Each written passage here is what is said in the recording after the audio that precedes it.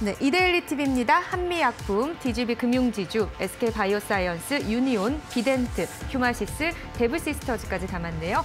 자, 한국경제TV는 한미약품 들어있고요. 역시 SK 바이오사이언스 있습니다. 휴마시스, 그리고 로보티즈, 데브시스터즈, KH바텍, KCT, 이노메트리까지 선정을 했네요. 매일경제TV, 한미약품, 비덴트, SK바이오사이언스, 동아ST, 유니온, 휴마시스, SK케미칼, 제주은행까지 이름을 올렸고요. 자 마지막 MTN으로 갑니다. 기가레인, 휴마시스, 유니온, 하나금융지주, 한미약품, 필로시스 헬스케어, PCL, 데브시스터즈까지 선정을 했네요. 네, 이 중에서 뭐 세 가지 종목 꼽아봐야 할 것 같습니다. 어떤 종목부터 좀 살펴볼까요? 네, DGB 금융지주나 하나금융지주 이렇게 금융주가 이름을 올렸는데 예. 좀 이런 금융주부터 먼저 좀 점검할 필요가 있을 것 같습니다. 알겠습니다. 앞서서 예, 금리 말씀하셨는데 음. 금리 오를 때 좋은 애들도 있어야 되잖아요. 그런 종목들이라서 가져왔습니다. 어, 앞서 제가 오프닝 때 말을 하긴 했지만 간밤에 미국 국채 금리 금리가 어, 지금 1.7%를 넘어섰습니다. 이 영향이 나스닥이 한 3%까지 빠져 나가기도 했는데 결국은 말씀하신 것처럼 금융주들은 또 여기서 수혜를 좀 얻을 수 있지 않을까요? 예. 네, 맞습니다. 그래서 금리가 오르면 은행 예대 마진이 커지니까 음. 기계적으로 실적 개선을 할 수 있다. 좀 이런 전망이 나오고 있고 요즘 금리 들썩이면서 이제 시장에서는 이제 지난 미국 현지 시간으로 16일, 17일 이제 진행됐던 이제 연방 공개 시장위원회 FOMC를 많이 주목을 하셨을 텐데요. 예. 어, 이때 연준이 분명 정책 금리를 동결하겠다 얘기했었고 자산 매입을 지속하는 완화 정책 이것도 계속 하겠다 이렇게 얘기를 했습니다. 2023년도까지라고 또 언급을 박았단 말이에요. 네, 맞습니다. 예. 구체적인 시점도 얘기를 했는데, 그러니까 시장이 워낙 들썩이니까 음. 금리도 안 올리고 테이퍼링도 하지 않을 거니까 좀 너네들 좀 진정해라. 좀 이런 얘기를 한 건데, 맞아요. 예, 시장이 하루만 진정을 하고 바로 또 진정하지 않았습니다. 그래서 말씀하신 것처럼 이제 국채 금리가 10년물 국채 금리가 미국 1.7%를 넘어서면서 어 이제 그 금융주들도 도움이 될 수 있다. 좀 이런 분석이 나오고 있습니다. 그래서 뭐 또 연준이 이날 또 FOMC에서 그 경제 성장률도 상향했는데 예. 또 이제 지금 시장에서는 이렇게 아, 경제가 좋아지면은 예전에는 경제가 좋아지면은 당연히 기업 실적이 좋아지니까 주가가 올라갈 거라고 이제 긍정적으로 해석했는데 요즘에는 이제 경제가 좋아지면 이 완화 정책을 취소할 거다, 줄일 예. 거다라는 생각 때문에 또 이렇게 그 주식이 좀 떨어지는 그런 현상도 있기 때문에 그런 것들 종합적으로 작용했다, 좀 이렇게 분석이 됩니다.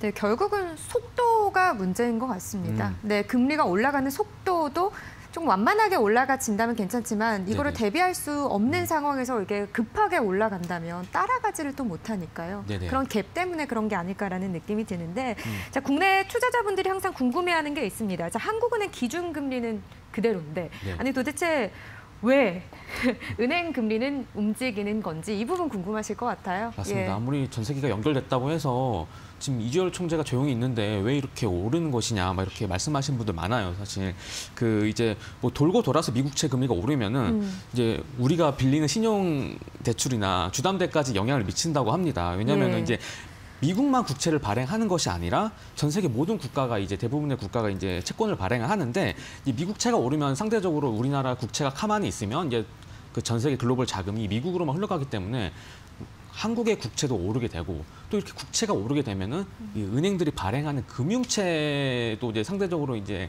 그 수익률이 떨어진다고 하면은 경쟁력을 잃기 때문에 이 금융채까지 가격 이제 금리가 오르게 됩니다. 그렇게 예. 되면은 어 기준금리가 가만히 있어도 이제 시중은행들의 금융채까지 오르게 되는 것이고 이 대출 금리 산정이 되는 겁니다. 금융 신용대출 금리 산정할 때이 음. 금융채도 포함이 되기 때문에 자연스럽게 이제 개인들이 빌리는 신용대출이나 이 주담대까지 영향을 미칠 수 있다. 좀 이렇게 분석이 됩니다. 그런데 아직까지는 뭐 본격적으로 이게 반영이 된 건 아닌 것 같아요. 왜냐면 좀 그 기사를 찾아보니까 이 주담대 변동금리에 산정할 때 사용되는 게 코픽스 금리라고 하는데 맞아요. 코픽스 금리는 오히려 좀 내려간 걸로 알고 하락했다고 있거든요. 그러더라고요. 예. 예, 그래서 좀 시장에서 방향성을 못 찾고 있다 이런 얘기도 음. 나오는데 이게 코픽스에는 이 금융채도 영향을 미치지만 그 예금 금리에도 영향을 많이 받는다고 해요. 그런데 예. 이제 그 예금 금리가 요즘에 좀 많이 내려왔기 때문에 이 영향 때문에 지금 코픽스 금리는 내려온 것이다. 좀 이렇게 은행권에서는 분석을 했습니다. 뭐 네. 다만 뭐 아직까지 시장 금리는 지금 우상향 압박이 있는 상황이니까 음. 어, 이런 것들이 좀 금융주에 좀 영향을 미치고 있다. 좀 이렇게 분석됩니다.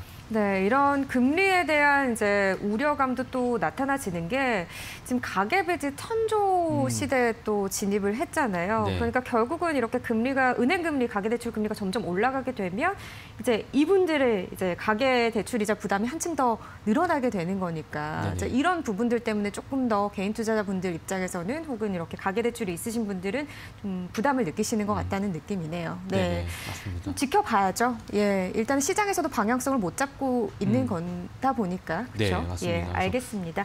자, DGB 그럼 금융지주 포함해서 지금 금융주들의 주가 흐름은 어떻다고 볼 수 있나요? 네, 지금 강세입니다. 이제 DGB 음. 금융지주가 이제 4에서 5% 강세를 보이고 있고, 뭐 장중 8,840원을 찍었는데 52주 신고가입니다. 어, 그래서 제주은행 같은 경우에도 물론 이제 자꾸 뭐 네이버랑 엮이면서 강세를 그쵸, 움직이고 있다는데 있었죠. 좀 가벼운 은행주다 보니까 그나마 6, 7% 이렇게 강세 보이고 있고 BNK 금융지주도 2% 정도 이제 강세 흐름을 보이고 있는데요. 4대 금융지주는 좀 아무래도 상대적으로 무거워서 그런지 좀 움직임이 크지는 않습니다. 근데 길게 또 이렇게 보면은 우상향하고 있는 게 좀 확인이 되고 음. 하나금융지주가 오늘 장중 42,800원 터치하면서 또 52주 신고가를 이제 기록했고요. 뭐 KB금융지주나 신한지주, 우리금융지주 같은 경우에는 보합권에서 왔다 갔다 하는데 뭐 여전히 이제 길게 보면 우상향하고 있는 그런 흐름이 좀 포착이 됩니다. 예, 한, 계속해서 금융주들도 함께 또 지켜보죠. 어쨌든 금리 상승에 있어서는 수혜주로 꼽히는 게 맞으니까요. 또. 이런 투자 측면에서는 참고하시면서 지켜보시면 될 것 같고, 자, 다음 종목 넘어가 볼게요. 네, 다음 종목은 또 한미약품 한번 가져왔습니다. 그래서 아, 지난주에도 봤던 종목이잖아요. 그때 어. 이제 말씀드렸던 호재가 하나가 이제 확정이 되면서 예. 이제 앞으로 또 시장의 기대감이 계속 이어져 이어갈 것 같아서 이제 가져왔습니다. 맞습니다. 그 이슈가 나왔더라고요. 뭐 롤론티스라는 호중구 감소증 치료제가 어제 식약처에 또 허가를 받았다 이렇게 네네. 내용이 나왔는데 구체적으로 어떤 내용이죠? 네, 그 호중구 감소증 치료제인데 음. 국내에서 33번째 신약이라고 합니다. 그래서 무려 한미약품의 첫 번째 바이오 신약이라고 해요. 저는 음. 한미약품이 바이오 신약 하는 회사인지는 알고 있었으니까 예. 몇 개는 있었겠거니 생각했었는데 이번이 첫 번째라고 합니다. 그만큼 좀 의미가 있는 것 같고 기업 자체에서도 기대가 크겠어요. 네, 맞습니다. 음. 그래서 이 호중구 감소증이 이제 그 백혈구 중에 이제 예. 40에서 70% 정도를 차지하는데 이게 이제 비정상적으로 이제 감소를 하게 되면 이제 그 면역력이 떨어지는 건데요. 이 이제 이 약이 이 환자의 골수를 좀 자극을 해서 이 호중구를 생산하는 그 수용체에 결합해서 이제 호중구 를 만든다고 합니다. 그래서 어 이제 한국 식약처에서 허가가 났기 때문에 뭐 그 주가가 지금 강세를 보이고 있는 게 아니냐 좀 이렇게 지금 분석이 됩니다. 네, 오늘장에서 한 1.3%대 강세 흐름 나타내고 있습니다. 근데 이 국내에서의 첫 시판을 하게 되면 그럼 미국 시판 가능성도 좀 높아졌다 이렇게 볼 수 있지 않을까요? 네네 맞습니다. 아무래도 국내 시장이 작다 보니까 지금 1% 상승으로 좀 그친 음. 것으로 보이는데 아무래도 미국 시판 가능성이 열리게 되면은 더 크게 오를 것으로 보이는 게 지금 미국 파트너사 이제 스펙트럼과 함께 지금 이제 미국 시판 허가 절차를 밟고 있습니다. 그래서 어, 스펙트럼 사장이 이제 말하기를 이제 5월에 5월 중순으로 이제 미국 FDA에서 나와서 한미약품의 평택 바이오 공장을 실사를 하겠다 좀 이렇게 밝혔고요. 그 이번 실사는 미국 시판 허가를 위한 마지막 단계가 될 것이다. 이렇게 지금 스펙트럼 사장이 밝힌 만큼 음. 어 이제 만약에 이- 결과가 이제 하반기쯤 나오게 되면은 그때 만약 이제 미국 시장이 열리게 되면은 그때 한미약품의 주가가 이제 또 또 한 번 레벨업 되지 않을까 좀 이렇게 전망됩니다. 네, 어쨌든 첫 신약 대열에 이제 한미 약품이 함께하게 됐는데 과연 글로벌 시장에서 성공한 한국의 첫 번째 바이오 신약이 될 수 있을지 이 부분도 계속 좀 지켜봐야겠네요. 네, 한미 약품 이야기 들어봤고요. 마지막 종목은 어떤 걸 좀 선정하셨어요? 네, SK 케미칼을 가져와 음. 봤습니다. SK 케미칼 지금 뭐 하락 흐름인데 어제도 하락을 했었단 말이죠. 네네. 이 SK 바이오사이언스 대주주인데 주가가 왜 내리는지 또 궁금해하실 것 같아요. 네, 맞습니다. 그래서 뭐 일부 보도에서는 차익 실현이다 뭐 이렇게 예. 얘기했는데 이게 사실 이제 금융투자 업계에서 마법의 단어라고 항상 얘기해요. 차익 실현이면 다 된다. 모든 이유를 설명할 수 있다. 그쵸. 이렇게 말씀하시거든요. 근데 SK 바이오사이언스가 어제 상한가를 기록했기 때문에 이게 차익 실현이라는 말이 좀 이제 맞지 않은 것 같아요. 그래서 좀 음. 알아보니까 그 애널리스트 분들은 이제 재료 소멸 측면에서 봐야 된다. 좀 이렇게 말씀들을 하시더라고요. 그래서 그 SK 바이오사이언스가 이제 상당 상장되지 않았던 시절에는 어쩔 수 없이 SK 사, 케미칼 사든지 좀 아니면 상장 전 기대감으로 SK 예. 케미칼을 이제 잡고 있었는데 이제 상장 상장된다고 하고 막상 상장이 되니까 더 이상 이제 SK 바이오 사이언, SK 케미칼을 들고 갈 이유가 없어진 것이다. 좀 이렇게 분석을 합니다. 그래서 만약에 SK 바이오 사이언스 이제 투자하고 싶으면 예전- 예전에는 케미칼을 샀었어야 되는데 이제는 이제 바이오 사이언스 사면 되니까 굳이 이제 이거를 이제 볼 필요가 없다. 좀 이렇게 얘기하는 분도 많고요. 또 이제 뭐 사실 뭐 어제만 사- 하락한 게 아니라 그 계속 주가 흐름이 좋지 않았어요. 그쵸. 그래서 뭐 아무래도 SK 바이오사이언스 이제 청약해야 되니까 뭐 약간 수익권이 있는 분들은 음. 팔아가지고 이제 청약할 때 좀 쓰지 않았나 좀 이렇게 분석이 됩니다. 그러니까 지금 SK케미칼 오늘도 거의 한 5% 가깝게 떨어지고 있는 상황이거든요. 음. 그리고 오늘 SK바이오사이언스도 사실은 따상상의 기대를 저버리고 네네. 현재 주가 흐름도 좀 기대치에 못 미치는 상황이고 음. 아쉬운 분들도 꽤 계실 것 같은데 네, 보니까 자회사가 상장한다고 해서 무조건 좋은 건 아니네요. 그러니까요. 음.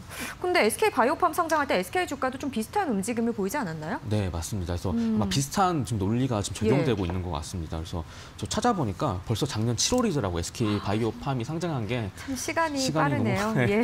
빠르다는 것 때문에 한번 약 속상했는데 그 SK 바이오팜이 작년 7월 2일에 상장을 상장을 했더라고요. 근데 음. 상장 당일 보면 SK 이제 그 지주 SK 그룹 주가 이제 빠지는 일이 있었고 예. 그 전에 그 이후부터 7거래일 연속 계속 SK 주가가 계속 음. 빠졌습니다. 그렇기 때문에 이제 SK 바이오팜이 빠져나왔다고 보기 때문에 이미 거기다 상 거기다 투자를 하면 되니까 그래서 SK 그 지주의 이제 주가는 계속 연달아서 빠지는 일이 있었는데 이번에도 그런 흐름이 좀 작용 적용이 됐다 좀 이렇게 분석이 됩니다. 그래서 음. 주가는 항상 기대감으로 오른다고 하니까 뭔가 이렇게 구체적으로 상장을 하거나 아니면 발표가 되면은 그때부터 약간 약세를 보이는 이런 흐름이 좀 시장에서는 적용되고 있는 게 아닌가 좀 그렇게 생각됩니다. 그러니까요. 사실 SK 바이오팜 같은 경우 작년에 굉장히 또 흥행을 했었 잖아요. 네네. 예, 거의 네 번 상한가를 가지 않았습니까? 그래서 맞습니다. 지금 뭐 종목 토론방 같은 데 가면 이야기하시는 게 뭐 개인 투자자분들 SK 바이오팜하고 그리고 네. SK 바이오사이언스의 음. 차트를 같이 보시더라고요. 흐름을 아. SK 바이오팜처럼 나중에 이렇게 되는 게 아니냐. 물론 그 정도로 흥행은 못 했지만 네네. 비교하면서 보시는 분들도 꽤 있으시더라고요. 그렇군요. 근데 어쨌든 말씀하신 것처럼